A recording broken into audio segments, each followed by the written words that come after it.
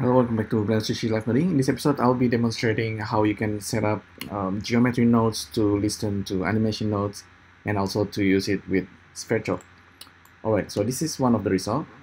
This, this, this is recording. So I have sound in the background uh, and I have this default cube that's actually spawning a lot of other Hello, default this, cube This, this is recording.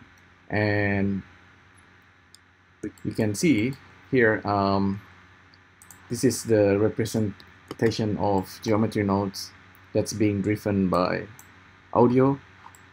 On the right side here you have this remeshed um, instance of this cube so you might think okay wait, what's actually going on? Yeah so first of all I started by recording my sound and then I simply import it into Blender using the video sequence editor. So I just uh, in this in this video sequence editor, Shift A and just import the sound. So there's a sound happening. And then the next thing I did was to use animation nodes. And with animation nodes, I just plug in the input sound and then it's the time frame and then I'm using this sound spectrum to to sample and read the sound and and then I let it to drive the default cube. So this guy is driving the default cube. So the default cube is actually animating. Thanks to animation nodes.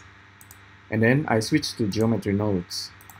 With geometry nodes if I select the cube so I have this guy. And I'm spawning some random boxes on the default cube. And on top of that I'm using the animations that's actually happening in real time so I'm reading itself and I know it's animating in the in the z-axis and then I'm actually using it to drive the points Hello, this, this. um, so I, so I'm driving the points by simply pushing its position based on its own position. I mean, I'm kind of like multiplying the position using the uh, the amplitude or the intensity of the sound. Hello, this, this, this is recording. Then I simply spawn some cube using point instancer. This is Blender 2.92 by the way, so you can't just use uh, point to volume volume to mesh. That's why I turn it into point instance. And after I turn it into point instance, in order to make it live, I'm using actually the, the Alembic. This is I'm exporting it out as Alembic because I want to process it further using Sverchok nodes. And I know that with Sverchok nodes, um, I can read I can read any objects and turning it into mesh that's already merged. That's why I can remesh it. so yeah, there's a lot of things going on. But uh, the the Alembic animations is coming here. If I okay, this guy over here. This is all real objects or maybe it's instance. No, that's real. This is real objects and I bring it into Sverchok and I give it a little bit of noise displacement. I can displace it more. recording. But the result is this this guy over here. So it looks like hello, Liquid. This, this, this is recording. it's actually real time if I'm not recording. This is It has this uh, kind of liquid-ish look. recording. In fact, this is just all just a spawn default cube, default cube that has been displaced and yeah, just think of it like uh, audio, real-time audio that's displacing the cube.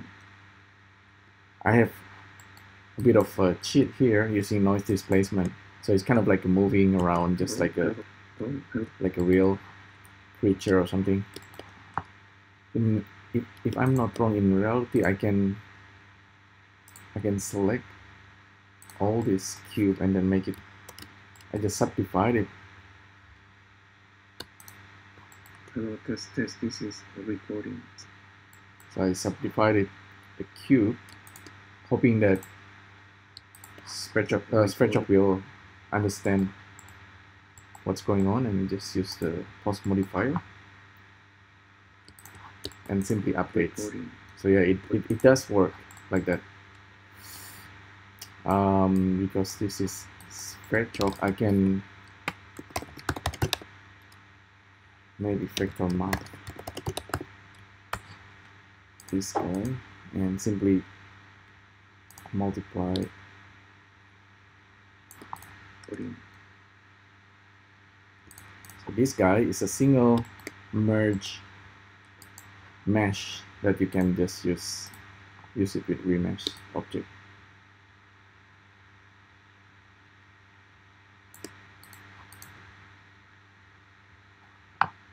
Hello, hello, test, test, test. This is recording. That Yeah, so it's become like, like this kind of liquid looking objects.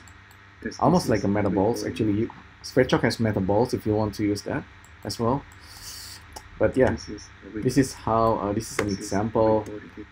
where animation nodes is using the input sound and then driving driving all this cube distribution of this cube kind of pushing it based on the sound intensity and then after I do that Sverchok is kind of processing the whole objects and turning it into a mesh it's a bit hacky but if you think about it they are all kind of working together if geometry nodes have like limit uh, limitations in terms of the nodes. Currently, I think of geometry nodes simply just like uh, points, distributions, and instancing. So it's really actually already really powerful for that matters. You can easily instance objects and then bake it out as Alembic. Like in this case, once you bake it out as Alembic, it's become real objects and you can bring it back into Blender and process it further, like using Sverchok, whatever.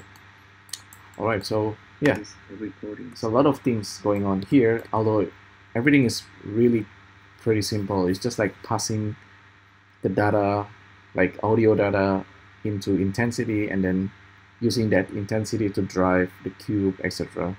Alright, so thanks again for tuning in, and I'll see you next time. Thank you. Bye.